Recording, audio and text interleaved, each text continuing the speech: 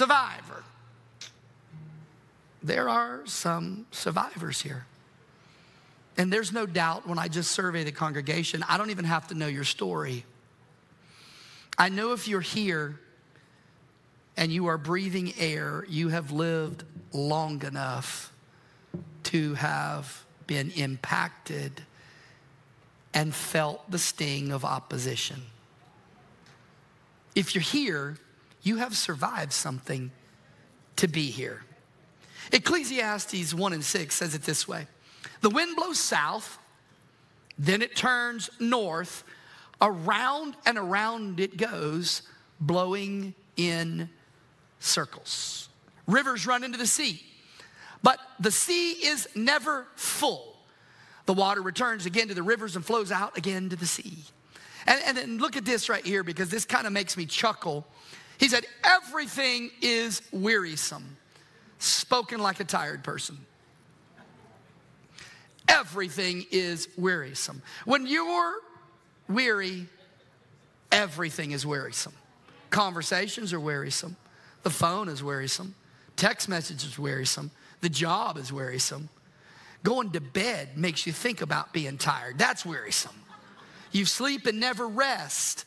Everything is wearisome beyond. He said, I don't even have words to tell you how tired I am. Everything is wearisome beyond description. No matter how much we see, we're never satisfied. No matter how much we hear, we are not content.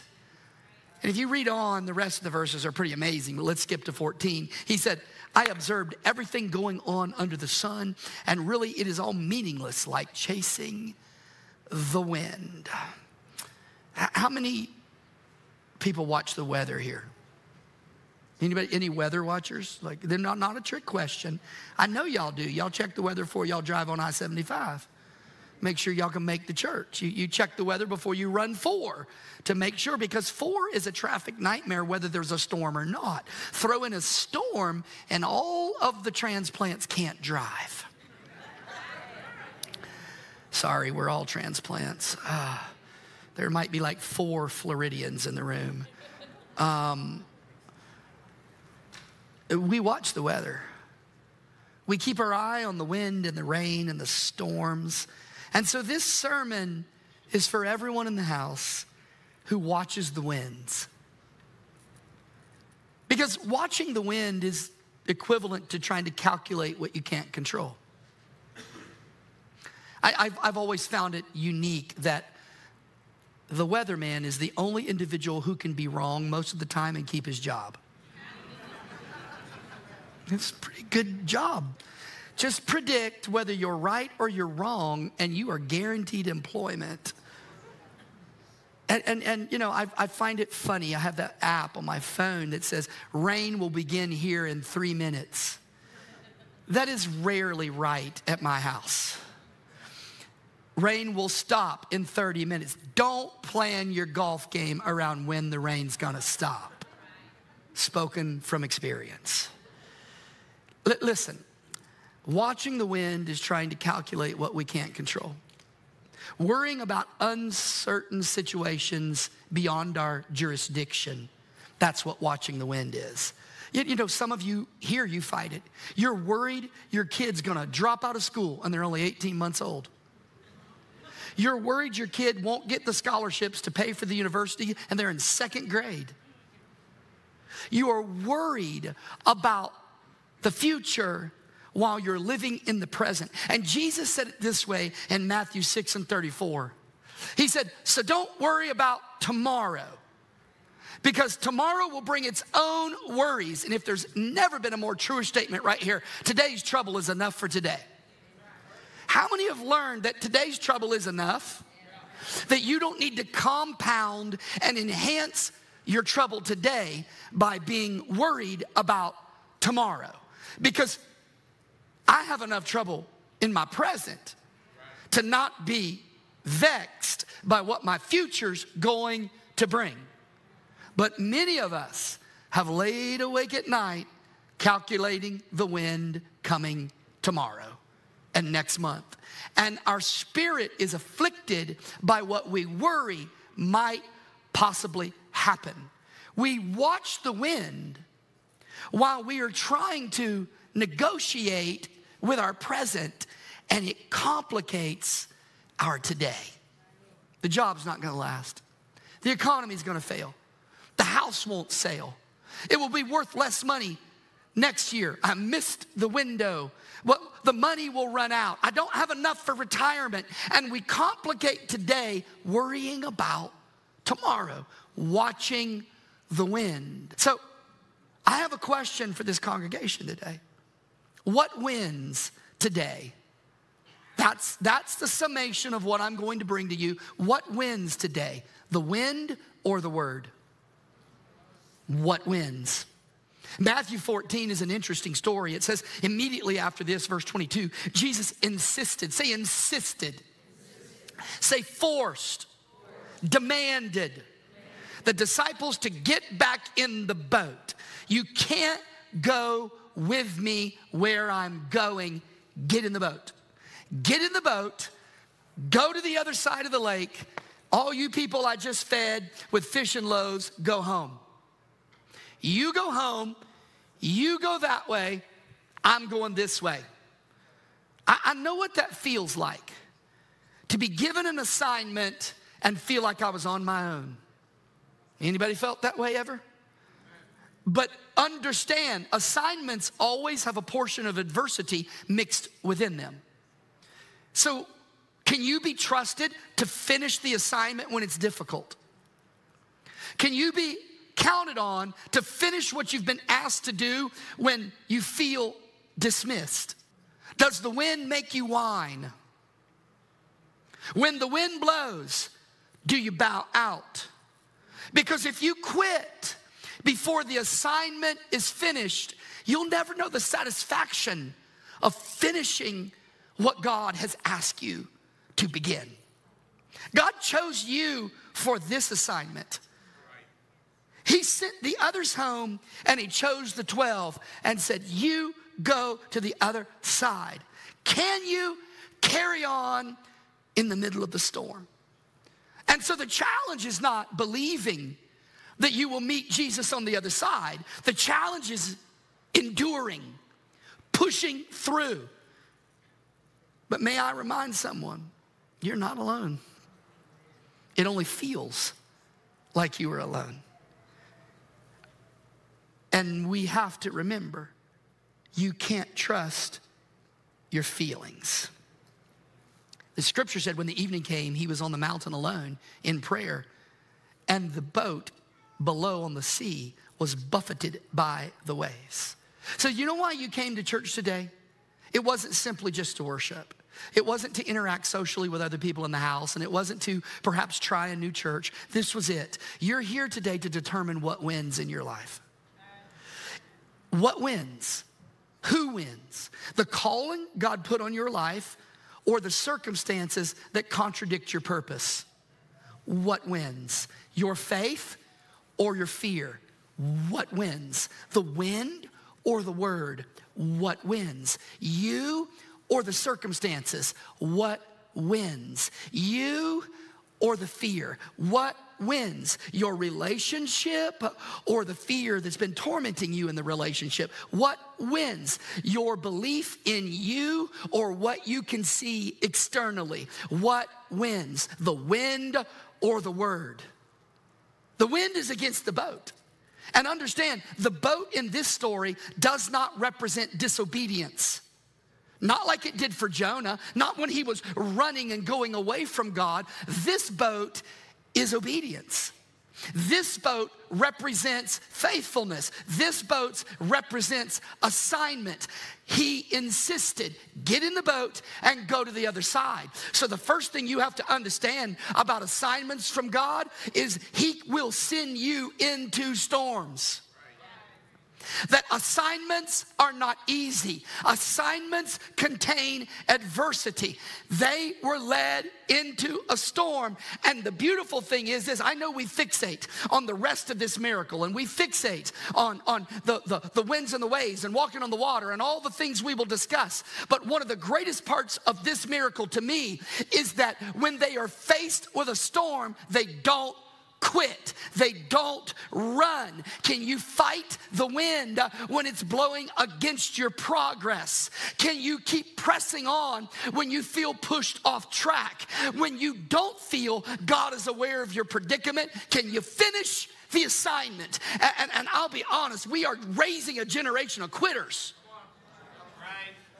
The 9 a.m. didn't get that statement. I'll just share it with you. We are raising a generation of people who don't know how to finish.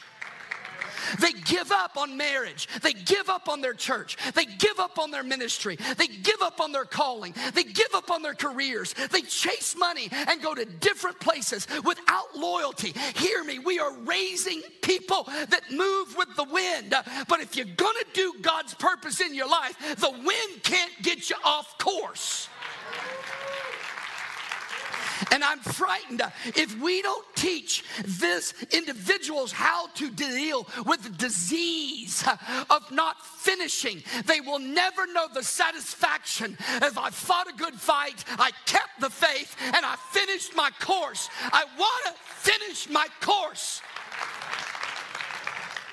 There are all kind of storms that we confront. Health storms and physical storms and financial storms, emotional storms, storms of every kind and every imaginable wind. But hear me clearly.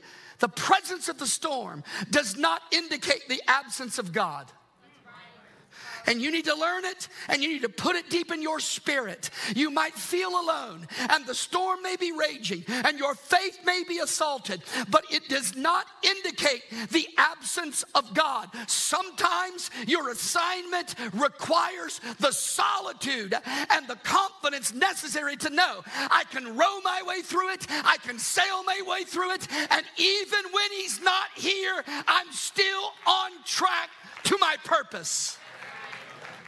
It is an intentional separation that Jesus Christ initiates. He separates himself from his disciple intentionally and sends them into a storm, understanding that if they remain faithful, there will be a dimension of his revelation they didn't get before. There are all kinds of storms, secret storms no one even knows you're in a storm because you put on your church face. You come to the house of God and you do your best to walk through, and you and your wife fight all the way to church. You walk in here and go, Praise the Lord, good to see you. They don't know about your storms. No one knows. But even when you feel alone and there is no encouragement in the boat you're in, you are not alone. But if you watch the wind, you'll never finish the assignment. If you watch the wind, you will stay in the safe harbor of complacency. You will live a life of ordinary ritual religiously if you watch the wind. If the disciples would have had the weather app, they would have never gotten in the boat. They would say, Jesus, the time's inconvenient. This is a bad time. The crossing won't be well. It, it will not be comfortable. You know, I just be honest with you. Sometimes you know too much. And sometimes you overthink things. And overthinking is an enemy of trust. When you overthink, you won't move in faith. I, am gonna hurt your feelings, but if you're a chronic overthinker, you're a wind watcher. If you overthink everything chronically, you will not walk in faith because you will be more fixated on the wind than you are on faith. I might get a flat tire. I better not go down that road. I, my, my father, I, my father was awesome, but my father could suck the joy out of a Friday night. Because I would say, Dad, I need 20 bucks. Now, 20 bucks would fill up your car with gas and buy something to eat running out with friends. So that's a whole different world I lived in, okay? I'd say, Dad, I need 20 bucks. And he'd go, Where are you going? I go, I'm gonna go downtown Dallas and run around a little bit. He'd go, You know how much it costs to drive your car?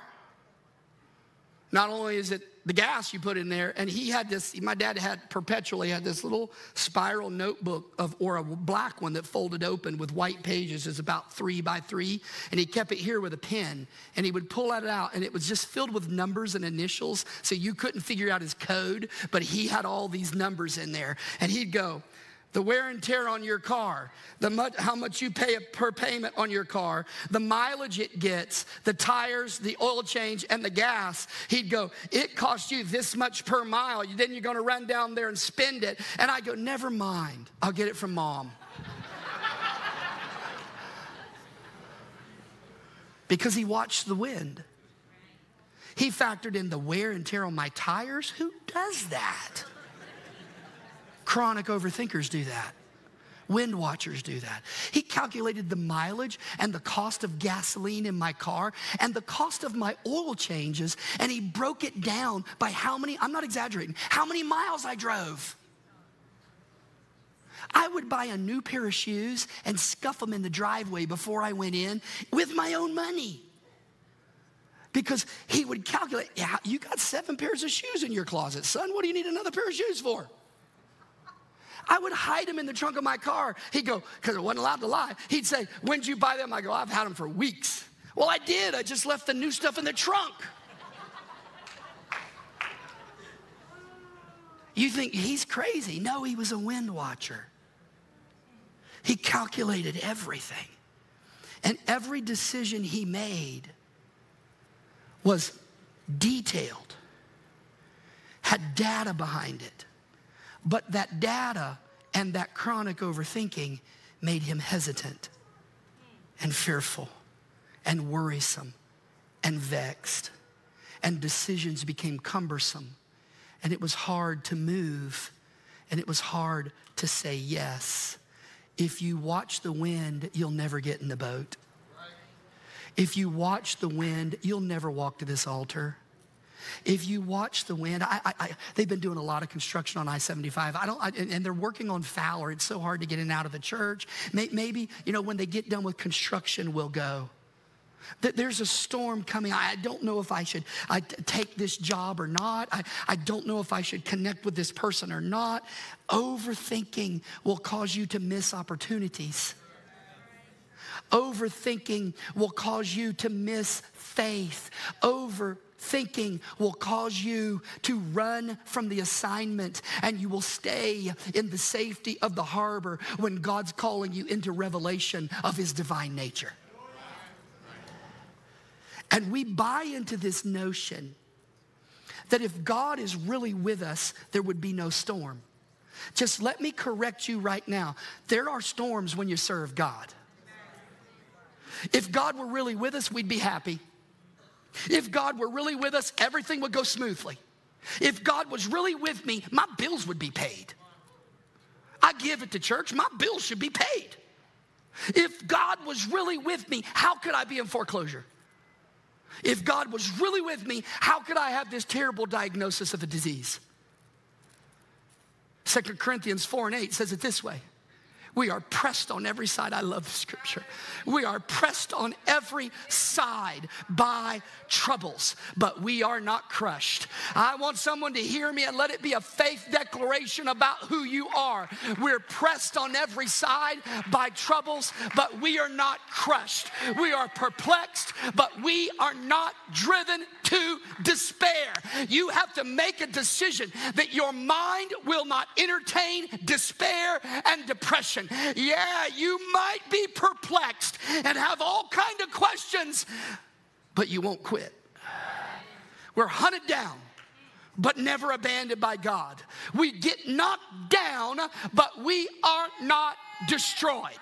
The scripture said the righteous may fall seven times, but they get back up. The mark of a faithful person is that when you get knocked down, you understand it's not over and my battle is in front of me, not behind me, and you get back up.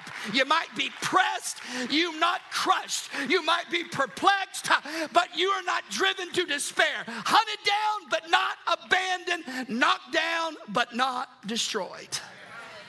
Job said, I can't figure it out. Where is God? How could all this happen and God be with me? How could my house be on fire and God be with me? How could the whirlwind take my children and God be with me? How could I lose all of my assets and God be with me? I looked for him on the right and I didn't see him. I looked for him on the left. I looked behind and he wasn't there. I couldn't find me. I looked in front of him. I couldn't find. Listen, the storm will reduce your visibility. And the more ferocious the storm, the less the distance you can see in front of you or around you. That's why you don't walk by sight, you walk by faith. Because if you fixate on walking by sight, listen, don't look or expect God to be clearly visible in your storm. Because how you sense God is through your human senses. You feel, you see, you hear, and, and understand. If you can only sense God through your human senses, uh, your senses will lie to you. They will tell you uh, false realities. They will manipulate you. Senses add to your comfort, and storms are never comfortable. They're not meant to be comfortable. But we wrestle the idea that the storm is meant to have some silver lining. The cloud has some beauty inside of it. Some storms have nothing beautiful about them. But I will remind someone the presence of the storm does not negate the presence of God. The presence of the storm does not negate the presence of God. Listen, nor does it indicate the absence of God. Because if you really want to see God do his best work, get in some trouble. If you really want to see God close to you, get in chaos. God, does God do his best work when we're dancing? Does God do his best work when you're shouting? When you're praying, when we're gathered together in the community of believers, and most certainly we have interactions with His goodness and His deity and His presence. But God's best work is done in trouble. God does visit your praise. Psalms 22 and 3 said, Thou inhabitest the praises of Israel. But if you want to know where God lives, God lives in trouble. Psalm 22 and 3, or, or excuse me, Psalms 9 and 9. The Lord is a refuge for the oppressed. What? A refuge in times of trouble. You're in good company when you're in trouble. Psalms 27 and 5 For in the time of trouble, he shall hide me in his pavilion. The secret of his tabernacles shall he hide me. He shall set me upon a rock because God is present in trouble. Psalm 32 and 7 Thou art my hiding place. Thou preserve me from trouble. You compass me about with songs of deliverance. Selah. Psalms 37 and 9 But the salvation of the righteous is of the Lord. He is their strength in times of trouble. Some of you've experienced this. You will never feel God closer or more real or more impacting than when you are in a storm. Psalms 37 and 39, we can go on. But the Lord, look at this, but the power, excuse me, the salvation of the righteous is of the Lord. He is their strength in time of trouble. Watch this one 59 and 16. But I will sing of thy power Yea, I will sing aloud of thy mercy in the morning, for thou hast been my defense and my refuge in the day of my trouble. You are not alone. The storm will not dislocate you, discombobulate you, or destroy you. 86 and 7 of Psalms. In the day of my trouble, I will call upon thee, and thou wilt answer me. Why did somebody do it right now? If you're in a storm, raise those hands and say, All right, God, you said you'd answer. I'm leaning into you. Psalms 107 13. Then the Lord, they cried unto the Lord in their trouble, and he saved them out of their distresses. You are not alone. The presence of the storm does not invalidate the reality of your God. The presence of the storm does not indicate the absence, the ambivalence of your God. Psalms 46 and 1 God is our refuge and strength. God is our refuge and strength. Always ready. Somebody say, always ready. Always ready. Don't got to get ready. Don't got to decide. Don't got to weigh the options of whether to help you or not. He is always ready. He is always ready to help you in times of trouble. Mm, man, I could preach a whole sermon right there. Always ready. He don't have to get ready. I don't have to validate my goodness. I don't get good to get God. I get God so I can survive. Understand very clearly. God doesn't have to look at my life and go, well, let's look at the list. Do they line up? Do they live enough? Do they have it right? Do they live right? Do they walk right? Do they talk right? Do they think right? He's just ready to help me in the storm. So I don't fear when earthquakes come, verse 2 the mountains crumble into sea. Let the oceans roar and foam, and let the mountains tremble as the waters surge. I just keep believing. So if you're looking for God, turn to somebody and say, if you're looking for God, He's in the storm. Psalm 60, I just can't stop. 61 and 2. You ready? From the end of the earth will I cry unto thee when my heart is overwhelmed. I love this phrasing because I quote it often. From the end of the earth he said, when I get to the end of my answers, when I get to the end of my intelligence, when my money runs out, when I have more questions than I have solutions, from the end of the earth will I cry unto thee. When my heart is overwhelmed, lead me to the rock that is higher than I. I don't know if you're in this house and your heart's overwhelmed, there is a solution. You are not alone. Lean in to the God of your strength. He's not absent. He's with you in the storm. But, but listen to me. All of these scriptures are about God being present in our trouble, correct? Anytime God promises you something, you better get ready.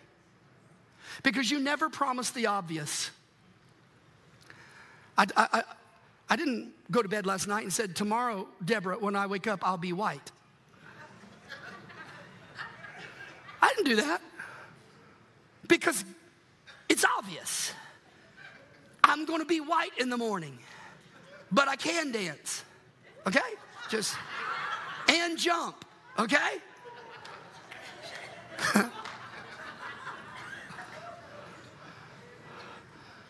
but I didn't. I didn't tell her. Make a promise, babe, when we get up in the morning. But what I did say, you get up in the morning, I'll still love you. And when the storms of life and the difficulties come, I'll be faithful because you don't promise the obvious, you promise what isn't always obvious because of the storm and the doubt that comes. You give a promise. Listen, when you know something is coming that might make you doubt.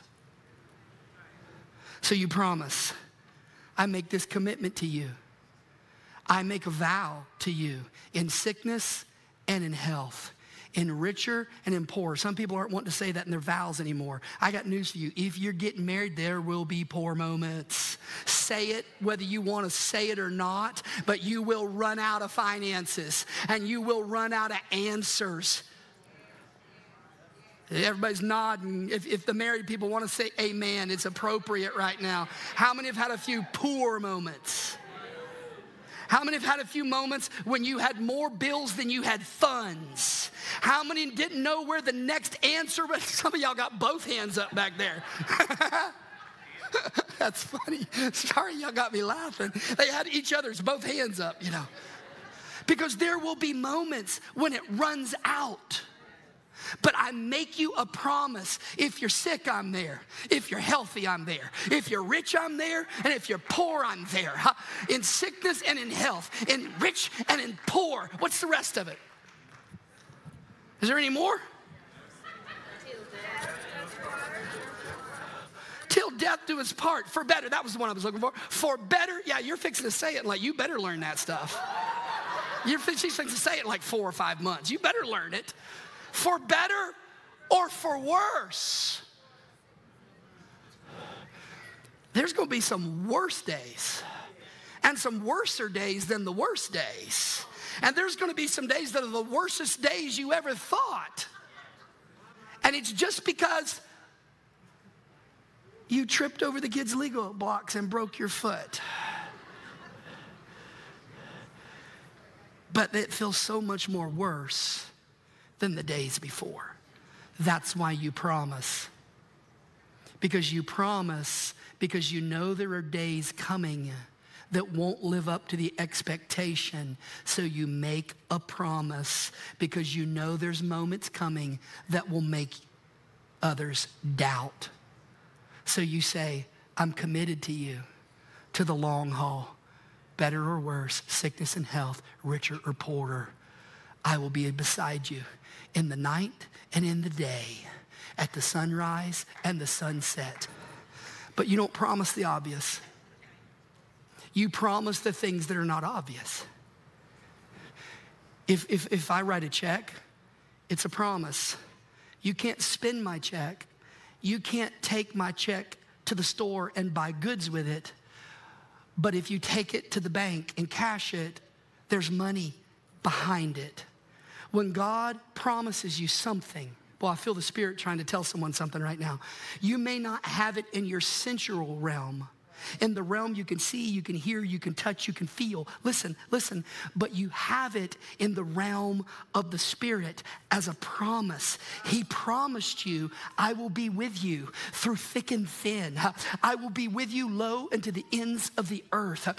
David said, if I make my bed in hell, he's there. If I ascend into the heavens, if I go to the beginning of the day and I go to the end of the night, no matter where I am, he is with me. Understand. He said, cast all all your cares upon him, for he careth for you. You are not alone. He made you a promise. No matter what you go through, he will be present. But he didn't promise you because it was going to be easy. He didn't promise you because it was going to be obvious. He didn't promise you because it was going to be stormless and a cakewalk. He promised you that when the wind blows and the lightning flashes, he would be present. You may not feel him, you may not see him, you may not sense him, but He's there.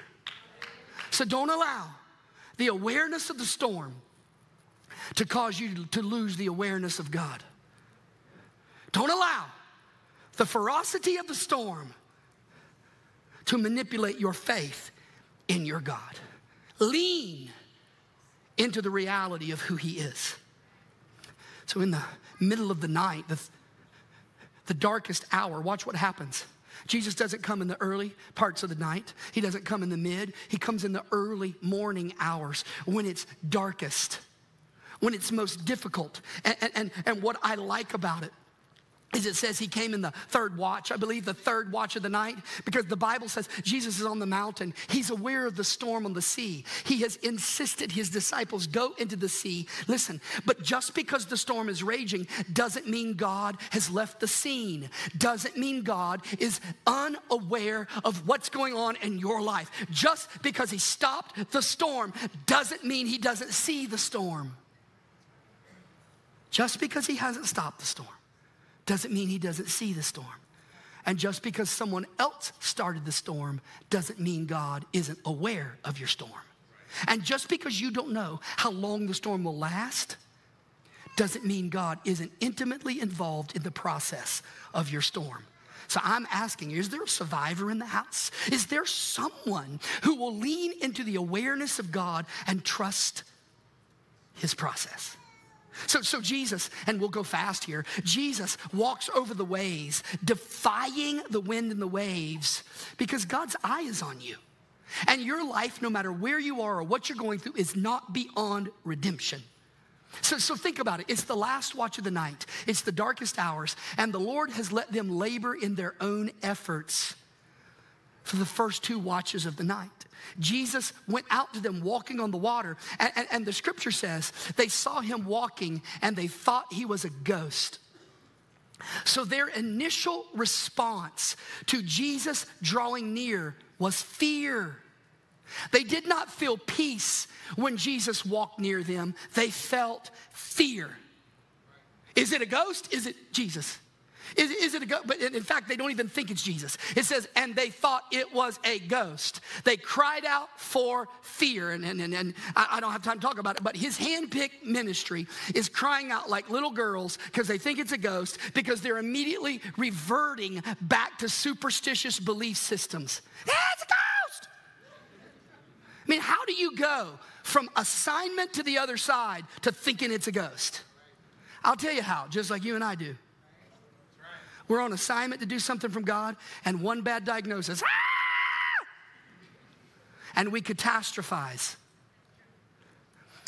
And we get overstimulated. And we get terrified. You see, the challenge is trusting God in the uncertainty of the storm. The disciples, I'm sure they've gone through the motions mentally. Why are we in the storm? Why did he put us here? What's happening? And then Jesus comes walking to them and notice something supernatural. It's, it's, it's so cool. The Bible says, it, you can go find it. It's Matthew 14. I didn't give you that. But just go in there to the, the previous, the, the, the following verses. The Bible says, that they are toiling, they are fighting the waves. The ship is bantered about, it's pushed about, it's pressed, but they're not scared till Jesus shows up. That is so odd that until Jesus shows up, they're not even afraid. But when he steps into the situation, they're terrified. So hear me really closely right now.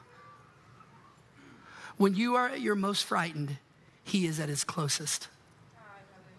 When you are most overwhelmed, he is nearest to you. When the night is darkest, he is in proximity to you closest. And it's something I want everyone in this house to understand. When my heart is overwhelmed, lead me to the rock. When your heart is hurting the most, when your spirit is the loneliest, when your mind is under the most emotional torment, he is closest to you. But the problem is you're watching the wind. So you see a ghost and not who he is. But you know what he does? He doesn't rebuke him. He, he, he doesn't denounce him. He, he says this. Listen, Jesus says, be not afraid. He hears their cries for fear over the voice of the wind. And he says this, be not afraid. It is I. Whatever you're hearing in the middle of your storm, if it's not be not afraid, it is I. It's not the voice of Jesus Christ. If all the other things, it's just the noise of the wind. It's, it's the chaos uh, and, and all the confusion that's surrounding the storm that you're in. But what Jesus speaks, and I have scripture for it, Matthew 8 and Matthew 14, every storm. He says in the first, why are you afraid? Peace be still. He says in the second, be not afraid, it is I. So understand uh, he is revealing his identity, but they cannot see him because they have their eyes on the wind. They're watching the effect of the storm. So don't be moved. Don't be manipulated by your exhausted emotions. Because when you get tired, you cannot trust how you feel. They think it's a ghost because they've been laboring all night in a storm. And when your emotions are exhausted, here, Pastor, they will send you false signals. It will make you think you can't trust who you're supposed to trust. It will make you hate people who love you.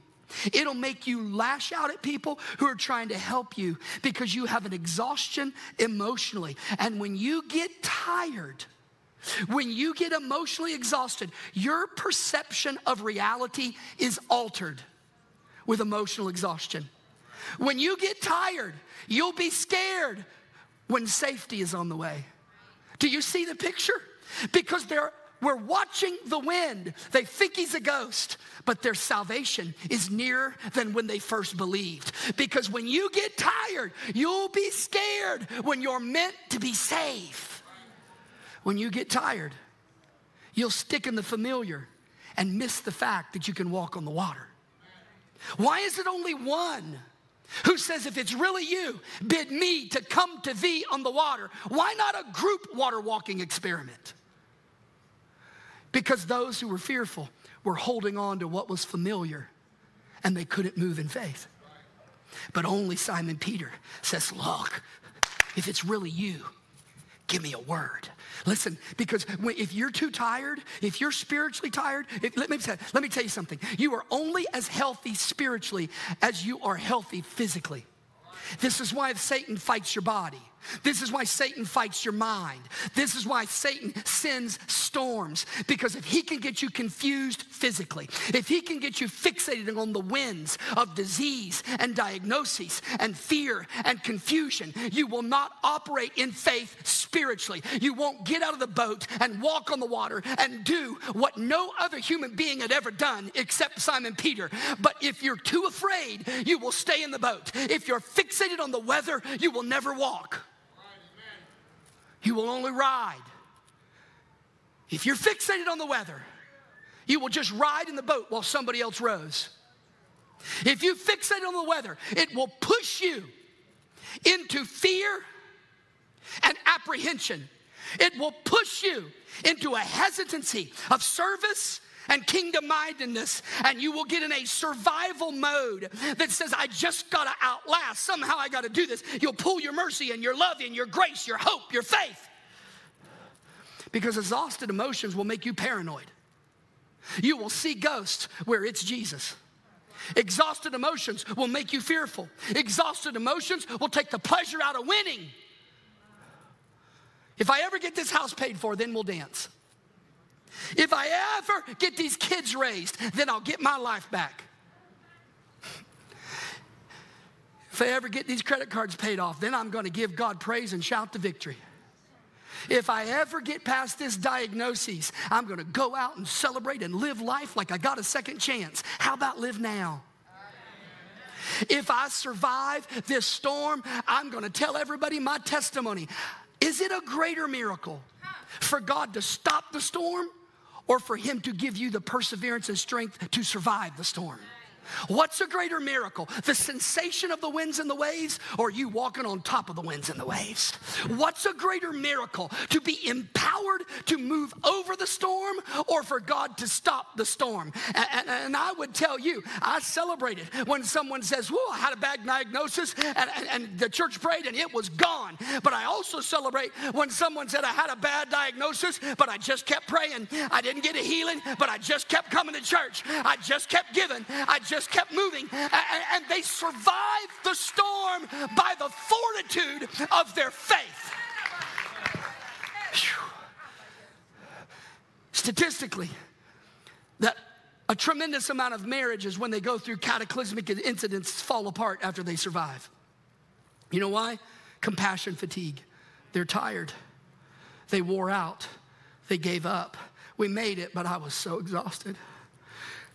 We made it, but I have no more prayer. I have no more shout. We made it, but I have no more step in my walk. We made it, but I just can't keep moving on. You see, if I could only succeed today, then I could shout. If I could only have victory today, then I could have a happy spirit. If I could only have all of my prayers answered, then I could walk in victory. No, friend, listen very clearly.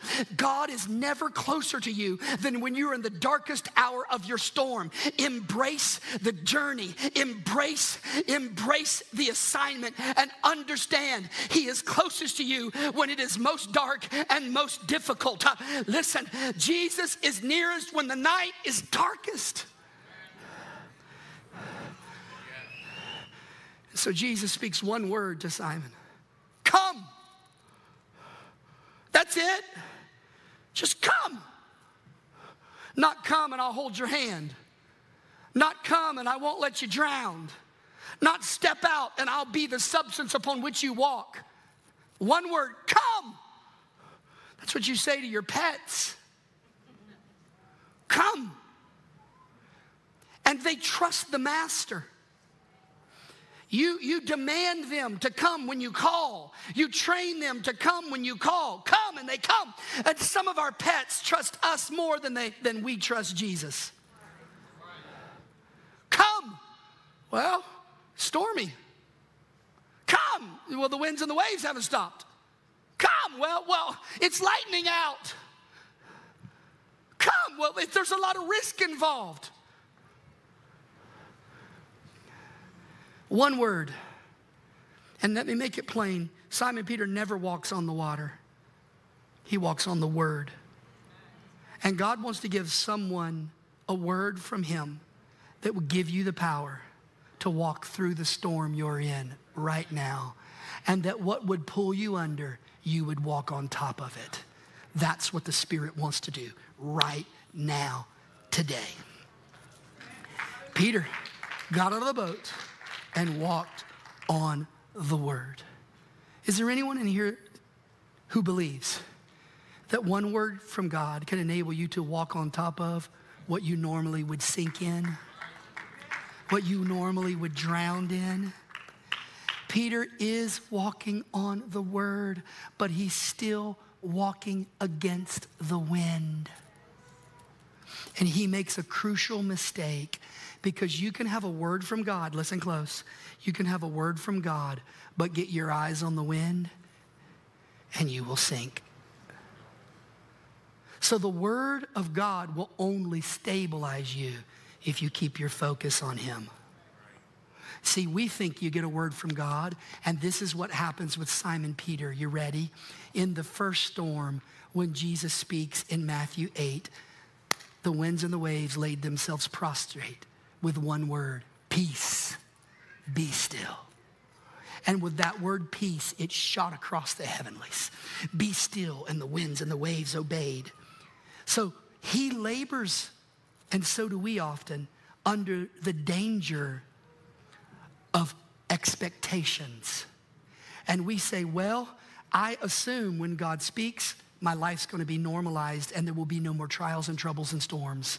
So we anticipate a word from God, but when the word from God is spoken and we don't get what we expect, we falter. And that's what Simon Peter does. He steps out on the word and begins to walk. But as he's walking, he realizes the word didn't change the circumstance. And because the circumstance is still windy and difficult, he started sinking because he took his eyes off of Christ. The scripture specifically said he looked from Christ and looked at the wind. And when he looked at the wind, he sank.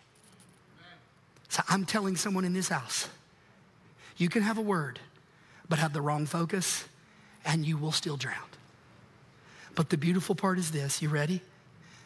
We don't know the details. We don't know how far Jesus is away, but I know this. He's got to be farther than that because he's walking and you could have seen him. He's far enough away that his figure is shrouded by the effects of the storm and they can't see clearly. They're not really sure who it is. And Simon Peter, in an act of mixed probably with a little curiosity and boldness and fear, steps out and begins to walk. But when he realizes the storm hasn't stopped, when he sees the wind, he immediately begins to sink. And as he's sinking, the scripture said Jesus took him by the hand and raised him up. I'm telling someone in this house, it's very simple. You might be in a storm, but listen, Jesus shows something of himself, and I, and I got to finish, but it's so amazing. When this happens, he takes him by the hand, they walk back to the boat, and the Bible says when Jesus stepped into the boat, immediately the storm stopped. Without a word to nature, the storm stopped. But in the first storm, the scripture said that the, they watched him say, Peace be still. And the disciples said, What manner of man is this that the winds and the waves obey him? In the second storm, they said, Surely, they fell on their knees, surely this is the Son of God. What happened in the second storm was pivotal to the revelation of what God was trying to show him, them about the nature of Jesus Christ. It's not just a man that can do miraculous things. It is the Son of God. And their perspective immediately is shifted. And they see something about him they have never seen instantly. Could it be that where you are right now is meant to open your eyes to the nature of God? In ways you have never comprehended. But you have to understand the storm doesn't indicate his absence, it doesn't negate his awareness. Your exhausted emotions will lie to you and tell you that it's not real, that it's not substantive, that it's not for you, that there's nothing to learn, that God can't show up. But you have to cancel the lies. And you have to put your faith in the word. I, I kind of believe that some of you just simply need a word in your storm right now. Some of you have a word and you need to get your eyes off the wind and get it back to the word. Others, you just need a word from the Lord today. Stand to your feet. Tampa Life, just keep talking to the Lord right now.